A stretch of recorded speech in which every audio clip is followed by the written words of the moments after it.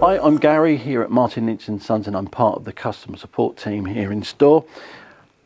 And today we're going to be talking about the SDRplay RSP range of radio receivers. Now, who is this for?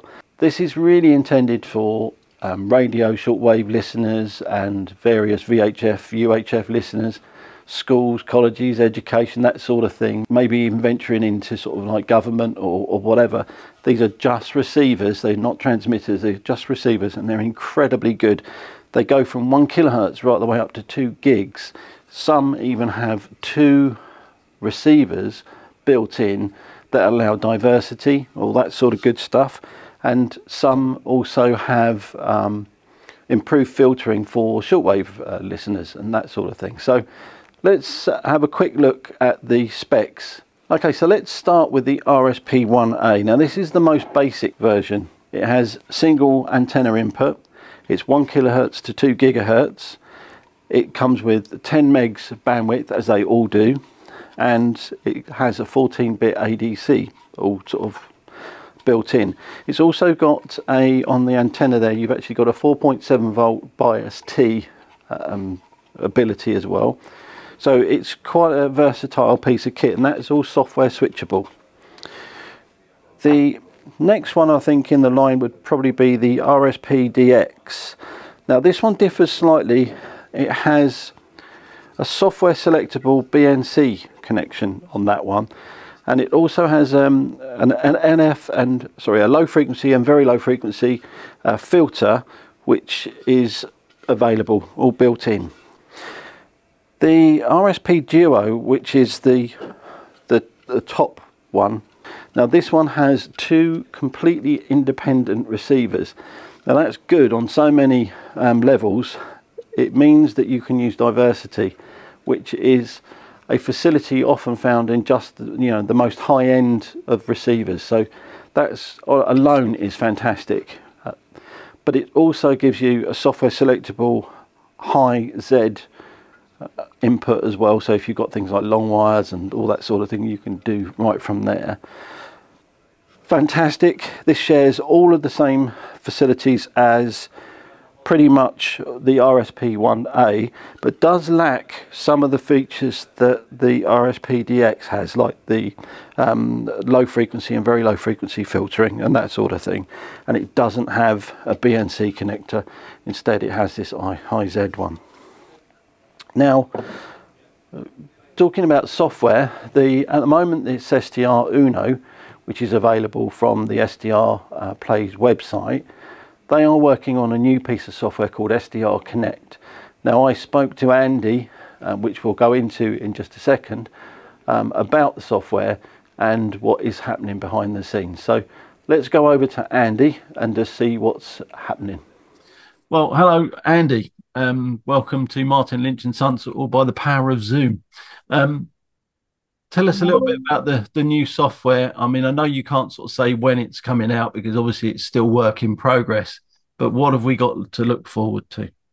Yeah, hi Gary. Um, well, thanks for thanks for inviting me on here today. Um, yeah, no, we're we're working very hard on uh, on SDR Connect. Uh, we're getting very close to having the first first version available for release. I don't actually have a date, um, but uh, uh, I know it's kind of longer than uh, longer than we expected it to be, and it's longer than uh, people are sitting sitting there waiting for it to be. Um, but uh, it, we had a minimum set of features that we wanted the first version to have. Uh, we're very close to having all of those features in. Um, we've hit a few stumbles along the way. Um, this isn't really the way we intended to on doing SDR Connect originally. Um, okay we were going to start from SDRuno, and uh, uh, and when we started to look into how that was going to work, so that that's kind of why we were saying it's it's it's coming, it's coming, and then we started looking into the the, the technical aspects of that, and the UI kit just really didn't. Uh, it, it was going to be a heck of a lot of work just to get the UI side of it. Um, on, to start on, across, yeah. So we've effectively started from from scratch, which has obviously meant things have been delayed, but mm. um, the, but the, the, there have been some benefits in doing that. Uh, the, virtually all of the all the DSP code has been written from scratch, so uh, we're doing things like we're now taking advantage of the GPU. Um, um, uh, so, uh, and uh, the people that have used it internally have said that the audio quality is better than SDRuno. And given that that was one of the big features of SDRuno, that's that's a good that, that's a good sign that we're going in the right direction. Um, so, like I said, we've got a few. Um, we've still got a couple of the, the, the sort of key features that we want to get into the first build, uh, and then and then we'll get it out to everybody. Um, and uh, and what you'll see is that there will be a number of a number of releases. Um, so uh, the first release that we do, you know, um, uh, uh, you know, I, I imagine there to be a number of releases fairly soon after, uh, and we'll just keep rolling them out as we get as we get functionality uh, into into SDR Connect. It's a very modular system, so um, we can add we can add add things to it without interrupting the core uh, DSP uh, functionality. So um, that should hopefully help keep the the number of bugs to a minimum. Right. Um, but well, it's I mean, been uh, it, it's it's been quite quite a process uh, doing yeah. this across multiple platforms. I can I can tell you. Right. Well, I'm actually looking at this uh, this screen now that uh, that we've got up, and it looks absolutely fantastic. It's a, a big improvement on on Uno, I think. I th- yeah. So we've we've done a number of things. Um, we sort of took some of the things that were good about SDRuno, and we've sort of dropped dropped some of the things that people didn't like. Um, so you can still uh, you can st- if if you want to float the windows, you can still do that, um, and you can see that they will. Uh, you can dock them, so anybody that's familiar with uh, with with sort of docking software mm. can see that that's that's sort of you know this is all fairly. Um, so it's it's you know uh, it's sort of the best of both worlds really. You can still dock the you can still have the windows floating if you want to put them on multiple monitors yeah. Uh, or you can dock them into a single a single window and just have it that way. Um, we've got other things such as uh, like the VRXs are now much easier to add. So if I start the stream here, um, and uh, so there's a VRX, mute that. Right. There's another one, mute that. There's another one, and literally you can kind of just keep going and organizing them as as wow. you wish. Right. Uh, so well, does, that looks really, really good. Um, because one of the, the the the most common sort of comments I ever had was, you know, that people were confused by the multiple layers of, of modules, and this looks absolutely brilliant. I'm really, really chuffed. Yeah, there's uh, obviously we're still sort of tweaking the UI, but we're we're quite happy with sort of the the, the basic concepts of it. Um, We've got like collapsible menus. So if you, you know, once you've set up your mode of operation and how you want the, you know, how you want it to look, you can sort of hide some of the menus away, get more real estate for the spectrum and the waterfall. Okay. Um, uh, and like I say, some of these other other panels that are on the side here, they don't have to be here. Um, you can uh, you can get rid of them, and then you can sort of, uh, you know, you can make. You, I mean, you know, it's it's it's it's very it's, it's very flexible. Uh, we're still we're still sort of like I say we're still tweaking the UI. We're still we're still um, uh, making some improvements to it. But I think I think the core functionality that we've got in here um, is pretty good. Um, well, I'm I'm very impressed, and and this is going to support, as I understand it, this is the the aim is to support as many platforms as possible from this sort of thing, or yeah, so it's uh so 64-bit application across all platforms, so only 64-bit OSs. Um, but we've got Windows uh, 10, Windows 11. We're not going below Windows 10. Um, and there are sensible. there are there are reasons for that. Uh, primarily with the UI kit, um, right. it's not it's not really supported below Windows 10. So just to kind of keep things uh, simple, reliable. yeah, and reliable. Yeah, uh, so Windows 10, Windows 11.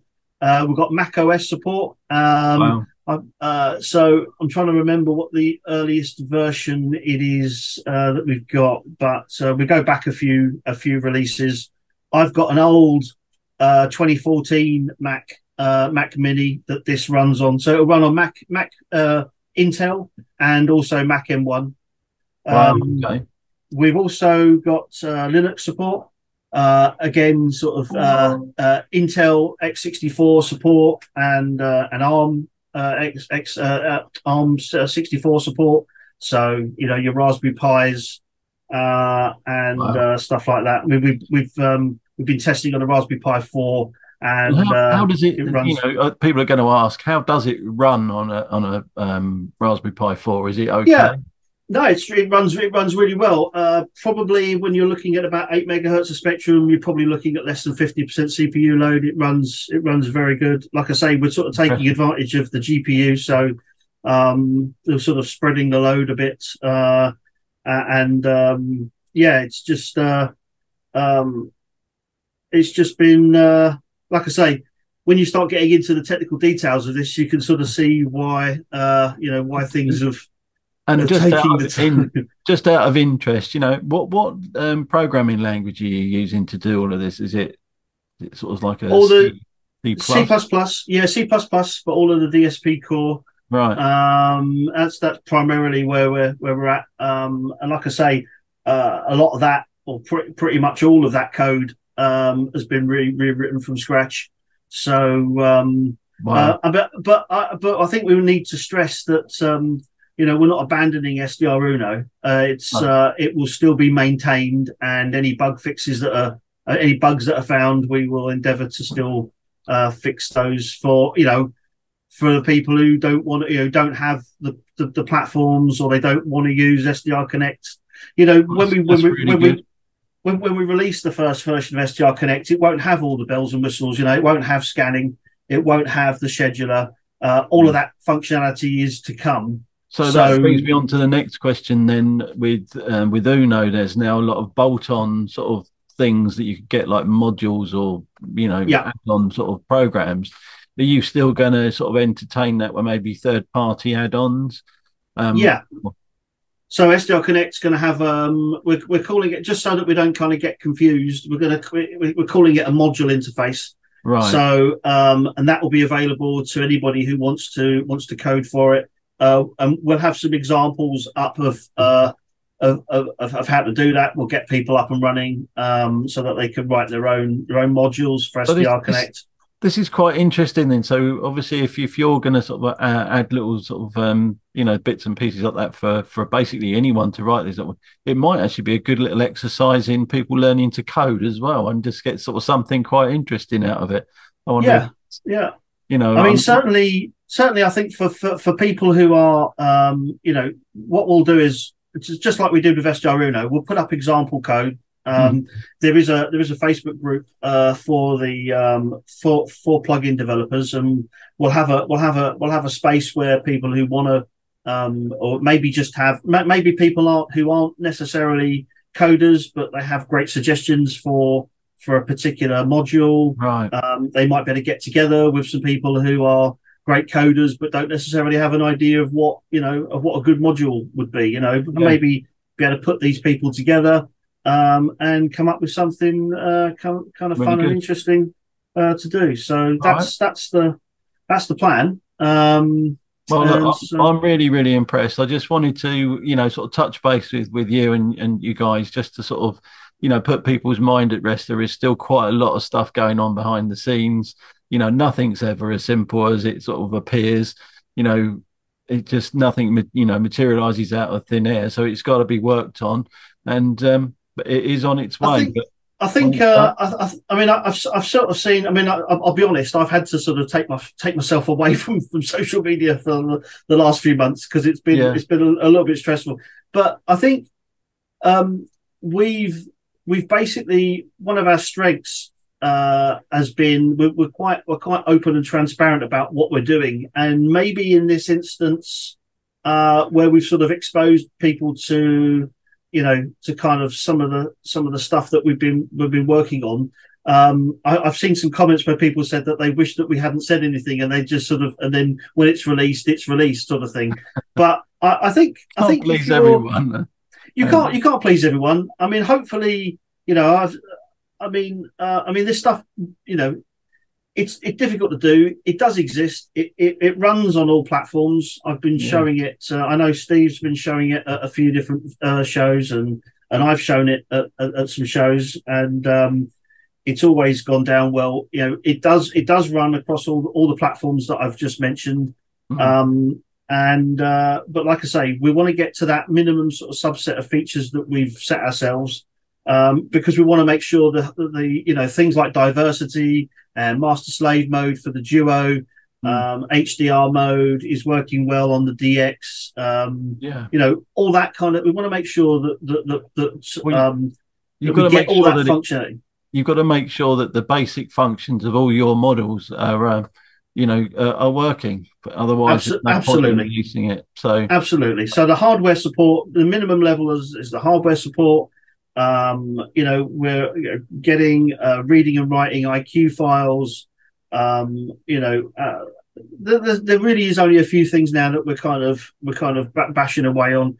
And mm. like i say as soon as it's ready um, we will get it get it out there uh, for people people to use. Well, I for, I for one am, am looking forward to it, and uh, thank you very much for being so open and letting us know where where where we are with everything because you know I think it, that's really really good. But okay, well look, thanks for uh, showing us around the software.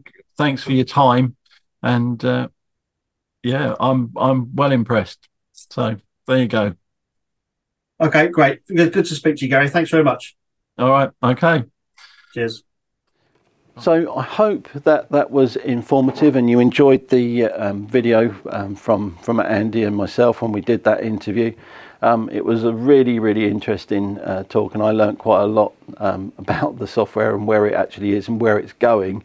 And I am really excited about seeing the, the new software. Before I go, just to say that we do sell all of the cables and things for this range of uh, receivers so USB cables that sort of stuff antenna adapters um, for you know for the SMA and all that sort of thing to whatever connection you want. So don't, you know don't forget to ask when you place an order.